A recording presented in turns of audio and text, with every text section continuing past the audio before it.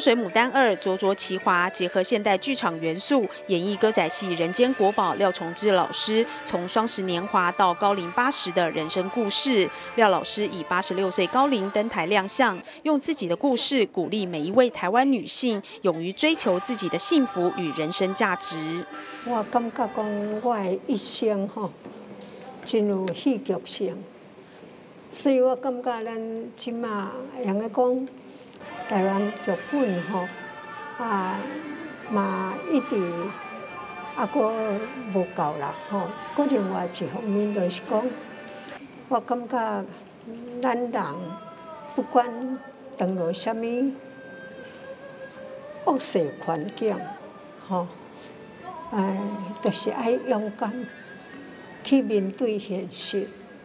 历经四年的规划创作，集结台湾表演艺术界的精英，从剧本构思之初，便将音乐纳入考量，更运用 3D 扫描科技，重现廖老师的舞台风华。啊，廖老师呢，七十八十六岁的高龄了。那么我们如何呢？透过科技，让廖老师能够在全程都与各位同在，在一起在舞台上呈现。所以呢，国乐团也很认真去用了 3D 的这个科技。扫描的科技，把廖老师的风姿扫扫描建构在舞台剧上，在舞台上。呃，《冻水牡丹一》是比较是属于歌曲式的，但是这一次是一个戏剧哈。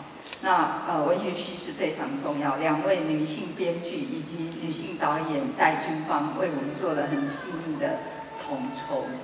那这些黄金的阵容搭在一起会如何呢？其实我们不知道。但第一次整台的时候，我我们看边看边流泪啊！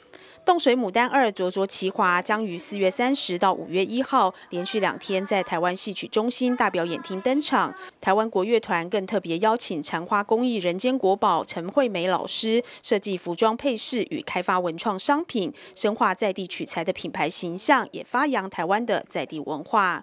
记者林希慧台北报道。